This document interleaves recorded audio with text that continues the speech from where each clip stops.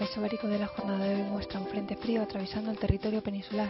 Por tanto, para la jornada de hoy esperamos precipitaciones que serán más persistentes en el Cantábrico Oriental y en Pirineos, donde podrían darse en forma de nieve. En zonas del centro, sobre todo en las de mayor altura, esperamos también algún chubasco. En cuanto a los valores térmicos, ascenderán de manera generalizada tanto máximos como mínimos, alcanzando los máximos los 23-24 grados en el sureste y en Canarias.